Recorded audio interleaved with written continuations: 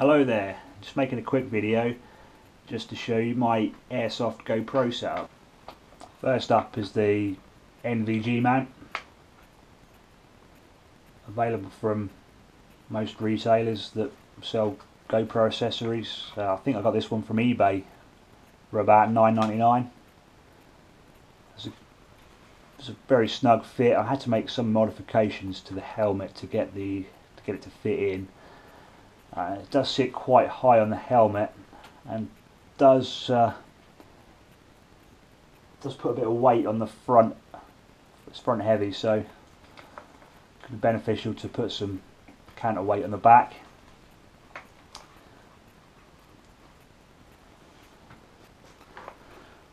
This is uh, just a makeshift NVG mount that I made before I took delivery of my uh, proper GoPro one.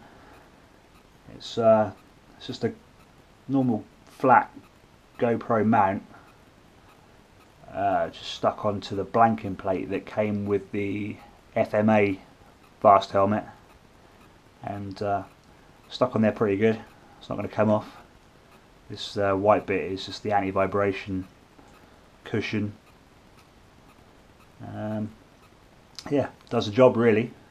Does the job pretty much the same as the uh, the proper part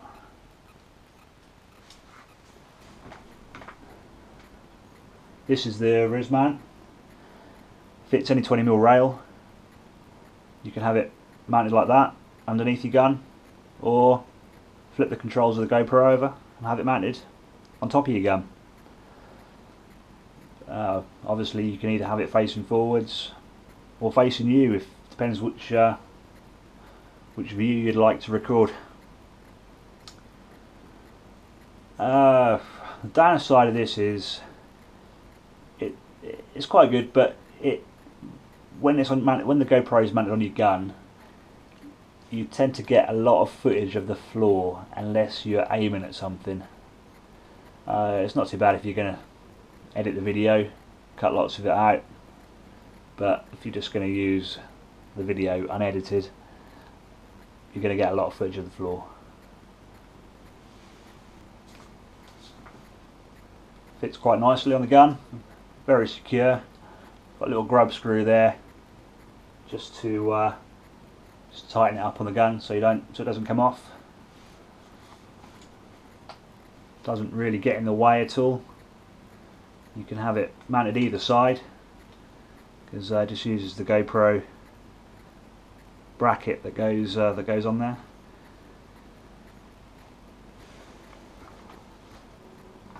Right, uh, this monstrosity here looks absolutely ridiculous on your gun and it's not going to be for every game use uh, it's going to get caught on bushes and brambles and all sorts and probably fall off after a while.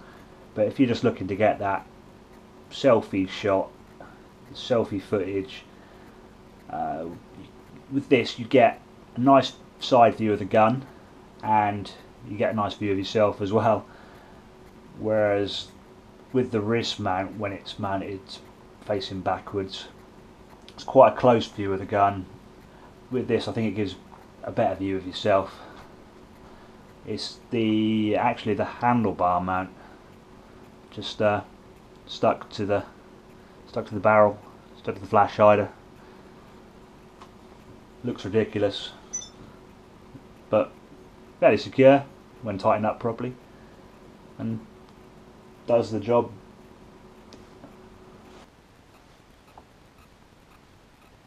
This is what I use uh, most of the time. This is the, the head strap. So three point, goes around your head and over your head. Very comfortable. Don't know you're wearing it most of the time. Uh, you do get a little bit of um, up and down movement on the camera when you're running around. Nothing too major, it's not too bad. But the comfort level is just pretty awesome really. Uh, I've just got a couple of lanyards, so I strap that to the back of my cap so it doesn't come off. And the housing is strapped to that for double safety. Because um, uh, these here have a tendency to break on the GoPros. So best to be safe than sorry rather than losing it. This is the, the, the GoPro stealth case. It's matte black It's uh, no no reflection like the uh, the standard clear case, so you're not going to get spotted a mile off by reflection from the sun. It doesn't show any of the LEDs flashing at all. Uh, it's got the open back. It does come with the waterproof back as well, but I prefer to use the open skeleton back so you get a better sound. Yeah, pretty good. It fits. This case fits the GoPro 3 and the GoPro 4, the GoPro 3 Plus, sorry, and the GoPro 4.